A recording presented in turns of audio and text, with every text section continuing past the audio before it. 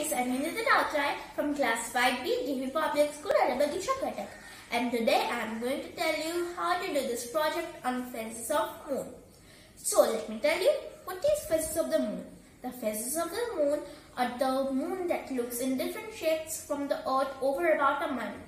As you know, moon is orbiting around the earth and the half part of the moon that faces the sun gets lit up and the different portion of the lit portion of the moon if seen from the earth is known as the phases of the moon. So let me tell you how to do this project on phases of the moon. So as you can see this is full moon, waning gibbous, last quarter, waning crescent, new moon, waxing crescent, first quarter and waxing gibbous. So here let me tell you how to do this project on phases of moon. So for this you have to need a color chart paper, white chart paper and a black chart paper you have to cut in this shape.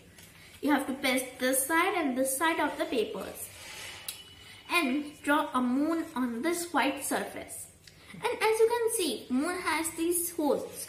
And these holes are called craters. These are formed because of the asteroids and meteorites from the space.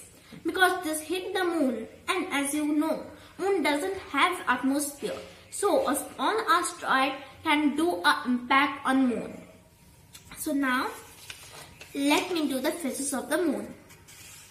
So this shape is called the waning crescent. This is the new moon.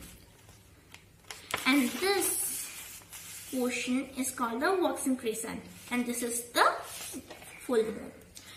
So now you know how to do this project on phases of the